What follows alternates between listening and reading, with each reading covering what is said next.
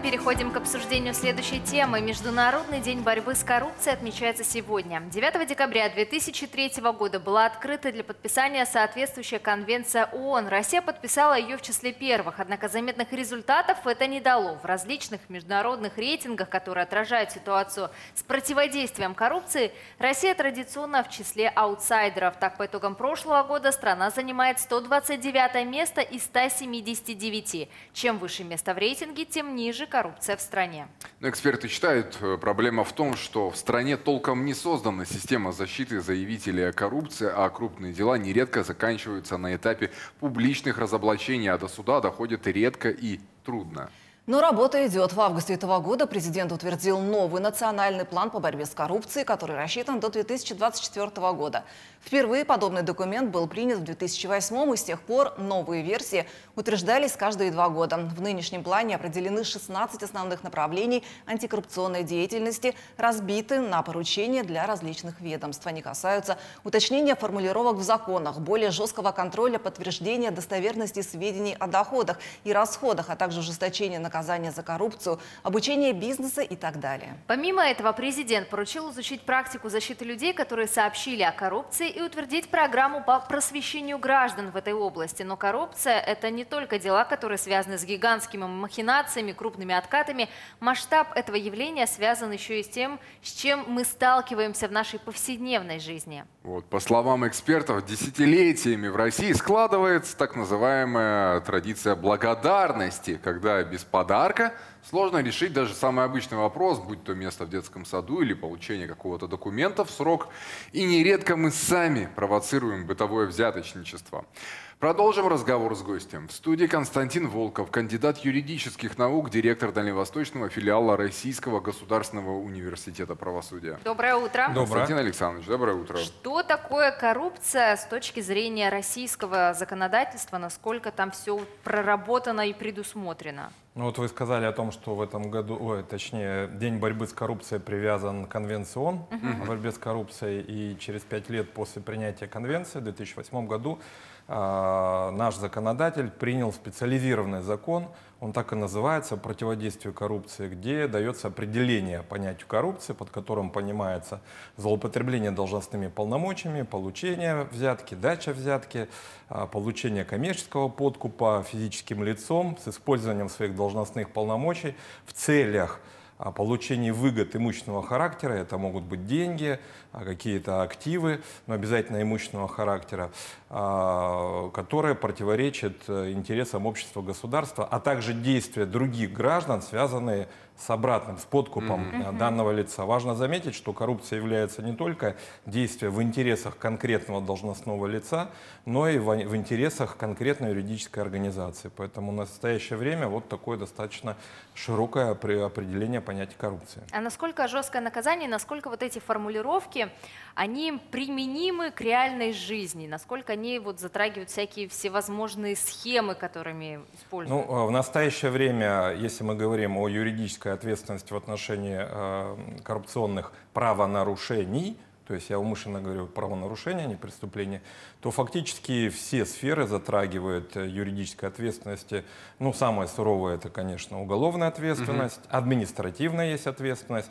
В отношении коррупционеров э, возможно и ответственность э, гражданско-правая, и в том числе трудовая. Почему? Потому что если мы говорим о лицах, которые могут стать коррупционерами, это исключительно должностные лица, вот, а на них распространяются специализированные законы, ну, в том числе, например, закон 79 ФЗ о гражданской государственной службе, а где, возможно, при возникновении, когда у чиновника возникает конфликт интересов, и он таким образом никак не реагирует, то могут быть взыскания вплоть до отстранения от должности, увольнения. А как Если... у нас дела складываются со статистикой в стране с коррупцией? То есть больше, меньше становятся? Ну, Какие вот сферы лидируют? Буквально вчера в российской газете Александр Бастрыкин давал э, интервью по поводу как раз преддверия Дня коррупции. Mm-hmm. Он отмечал, что э, в этом году отмечается рост преступлений коррупционной направленности. Традиционно э, ежегодно это порядка около 30 тысяч преступлений. Из них половина преступлений – это дача получения взятки. Вот, э, ну, собственно говоря, приводил даже весьма интересные примеры э, в части того, какие суммы. Вот, ну, удивительно, мне так, такой пример запомнился. Самый большой размер взятки составлял 957 миллионов рублей. Поэтому как бы борьба ведется, вот, и правоохранительные органы, надо им сказать, естественно, спасибо, это является приоритетным направлением деятельности.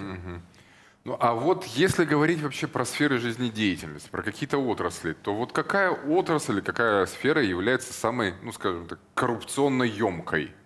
А, Вы знаете, есть статистика, да, и есть высказывания, его приписывают то Марку Твену, то другим авторам, который говорит, что есть ложь, есть большая ложь, есть статистика. Вот если мы будем брать статистику, то первенство э, между тремя категориями. Это правоохранительный орган, а, значит, э, работники э, сферы образования и сферы здравоохранения. Но дело в том, что в России э, спецификой как раз, ну я думаю, это не только Россия, но и по всему миру, противодействие коррупции заключается в том, что в основе своей большинство коррупционных правонарушений это бытовая коррупция. То есть это та коррупция, которая, к сожалению, не относится к деловой, не относится к политической, в силу того, что очень сложно расследовать дела а, в силу особого статуса и ряда других моментов. Это Ну вот да, действительно, мы же, мы, мы же привыкли, да, ругать э, вот тех, кто там, там берет вот эти огромные сумки, там, не знаю, там с миллионами каких-то долларей или чего-то еще, вот большая коррупция и так далее. А на себя как бы особо не смотрим, потому что мы же, да, привыкли с шоколадочкой, там, с пакетиком к доктору пойти, там, или вот как был там, при- приведен пример. В детский сад, вот что касается вот бытовой коррупции, насколько она вот э, распространена? Ну, вы знаете, относительно бытовой коррупции, как я сказал, это самое распространенное, это 60% всех преступлений зарегистрированных, это как раз варианты бытовой коррупции. Но в 60. то же время, да, хотелось бы сказать, что есть, конечно, определенные проблемы, связанные с правовой регламентацией.